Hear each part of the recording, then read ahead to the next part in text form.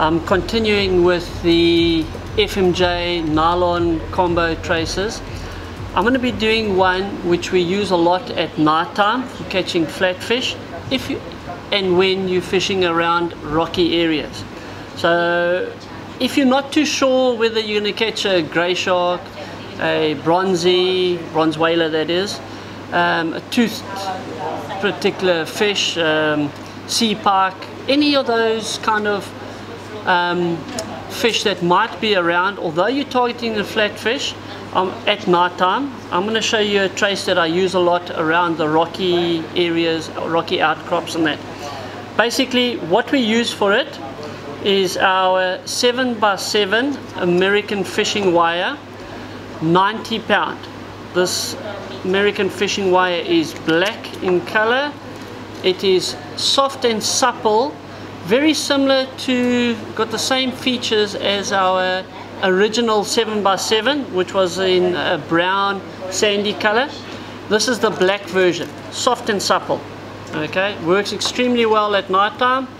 Um, we've been using it for the last couple of years. It's very nice. We've kept it very quiet, but now I've got a lot of confidence in it. A lot of confidence in it. Tuna Circle, Tenno, um, it's proved itself. It works extremely well for big bloody baits. We know it works. Number one, um, power swivels. Again, very successful, very strong, and they work very well. Uh, Loon's UV Knot Sense. Um, again, uh, another product that I've been using for quite some time. Uh, it's nice, it just makes your knots a lot neater, uh, works well our lighter of course. Two little clear beads. I've always been one for clear beads. You can use our standard chartreuse ones just as an added attractor but clear always works well. Uh, UV torch to cure the loons. Our tennis racket string um, soft supple high abrasion works very well. And of course for our sinker snooting our 31 kilo Kingfisher leader line. Very, very nice. Okay, to start off with, I'm just going to clear everything out here quickly. I need that and that. Okay. To start off with, Tuna Circle Tenno. It seems to be the best all-round size here in the Natal for our flatfish um, and our toothy sharks. I mean, we catch grey sharks from 6 kilos all the way up to 60 kilos with it. It works very, very well for the raggies. A piece of uh, nylon coated wire. This is American uh, fishing wire. And we make it about 400 to 500 long. I'm just going to cut that off. Okay.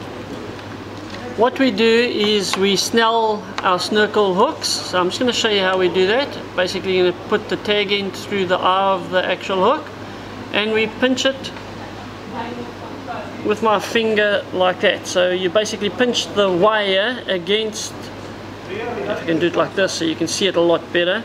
You just pinch the wire against the actual hook.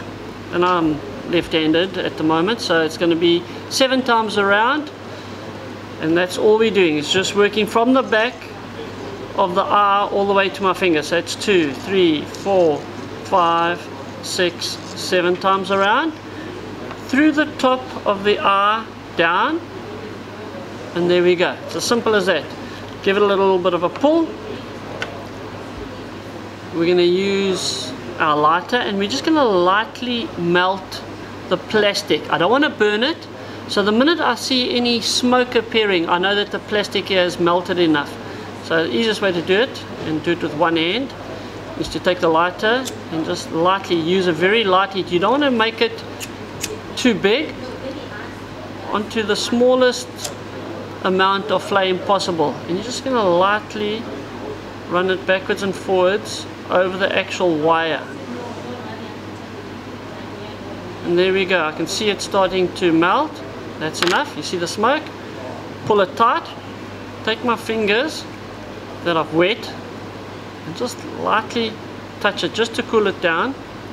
That's basically it there. Simple as that guys. I'm just going to cut off that little tag end. Okay. Just have a look at that. You can see how the plastic has just melted. But it hasn't melted through the plastic and that's very important. So there we go. That knot won't come loose now. Our tennis racket string. To join our tennis racket string to the nylon coated wire, all we do is a figure of eight. So we're just taking the, the tennis racket string and we're wrapping it around my finger three times, as we do with all nylon. Take it through, open it up to form a figure of eight. There's your figure of eight forming. And what we do is we push the actual tennis racket string together to form a tight little loop like that. There we go. Just a bit of lubrication on it. And there we go. So there the tight little loops are that I'm talking about, those three little loops. Now what we're going to do with the wire is just wrap it around twice. Once, twice with the wire, the 90 pound wire, go through the eye, open it up to form the figure of eight. There's the figure of eight over there. Push the nylon to where that knot actually is. So we're actually just pushing it, pushing it, pushing it, pushing it until it gets close to where the actual wire knot is. Pull the nylon wire tight, American fishing wire tight like that. Pull the wire up to it and now now I like to put that hook there. Pull it tight as we can. So that the wire is tight as you can see there it's pulled up nicely. One two three one two. Cut the tag end of the nylon off and the tag end of the wire over there. Okay so if you want to see that's basically what the knot looks like at the end of the day. Okay we just basically take the knot to test it stick it over the back here. It doesn't come loose just to make sure. And you can see how that knot's actually pulled tight now. Three loops around two loops on the wire and that's basically the joining knot to it. Next step is to take some uh, of this 30 kilo kingfisher leader line that I use for my sinker snooting. And you cut yourself a reasonable amount of it about 15 centimeters away I'm going to tie a figure of 8 so basically how we do that is we just take the nylon around once twice three times around open it up to form our figure of 8 there's the figure of 8 forming. Push them together and just lightly pull it. So now all I'm going to do is take my pliers to pull tight nylon. Pull it as tight as we can. Cut that off cut the tag end off as close as we can. Okay so if you have a look here you can actually see the figure of eight on the tennis racket string. There it is there. It's a little bit of a burr sticking out there. I'm just going to try and cut it a bit closer. Okay, there we go. So it's a little bit neater now. Again, to make sure it's not going to move when I throw, I'm going to do the exact same thing again. I'm going to do another figure of eight around it. One, two, three times. And all these are, are stopper knots. Basically, it's going to stop the swivel from running down the line. So there we go. Slide it back up to where the original knot is. Over there. Pull a little bit tight. Okay, you can see there's a little gap between that knot and that knot. All I do now is just pull it until I get it to where it wants it to be.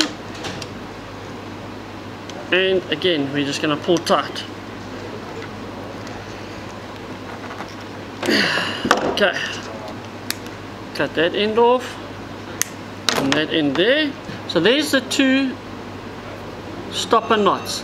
Now what we do is we take either super glue if you want, Q-bond, anything like that. I prefer this UV knot sense.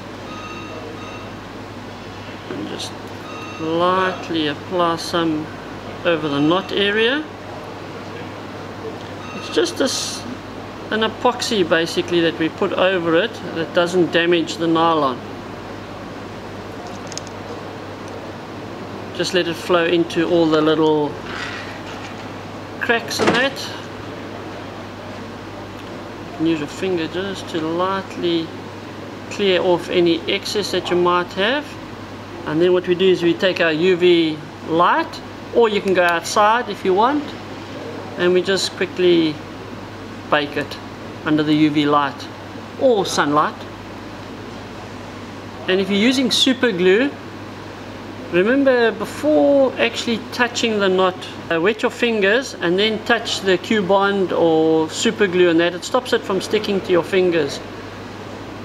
And again, you just roll it in and that should be cured. It only takes a couple of seconds. That should be done.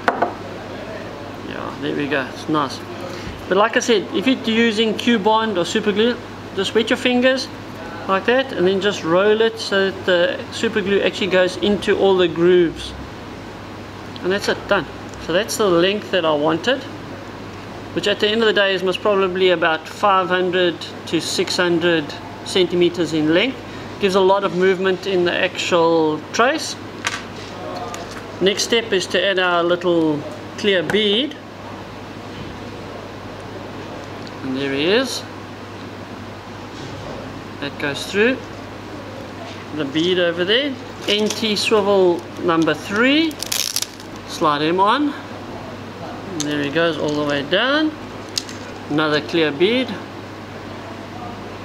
Slide him on. All the way down. And then our power swivel number one. And the reason we use the power swivel is when you're actually grabbing the trace you've got something to hold on to when you're actually holding the trace. If you use the small little swivel and the fish took off, it will run through your fingers and generally catch you. So we use quite a big swivel, it works a lot better that way. Again, to end this off, it's a figure of eight, three times with the nylon around. Open, slide down. There we go, I'm forming my figure of eight now. A bit of lubrication there. Just going to pull this. There we go. Slide the knot down. And I find the best way to actually pull that knot tight is to take your your circle hook, place it in there, and to pull it as hard as you can. And that's it. Cut the tag end off. So there's the finished knot, as you can see over there. There's your sliding trace, your movement is all there in the wire, in the actual uh, nylon. You've got your abrasion resistance as far as the nylon goes. All I'm going to do is add a little sinker snooting to it. And again, it depends how you're going to bait it up to how long you actually want this hook snooting to be. Take my Kingfisher leader line 31 kilos. And to attach it all I'm going to do is a figure of eight onto the NT swivel one two three times around back through open up.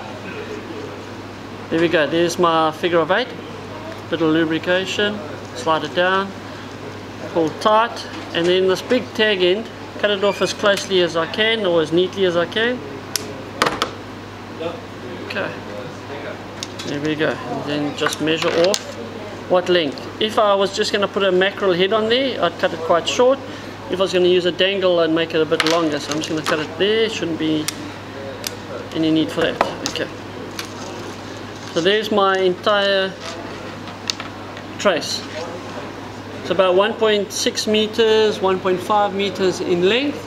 The tennis racket string obviously my thing's going to run up and down the tennis racket like that and that's basically the entire trace finished it works very well at night time if you're using big bloody baits for diamonds, duckbills, eagle rays grey sharks if they do come around. Um, we've got hammers on them at night as well. Um, yeah guys, that's basically the combo trace. It's wire and nylon FMJ.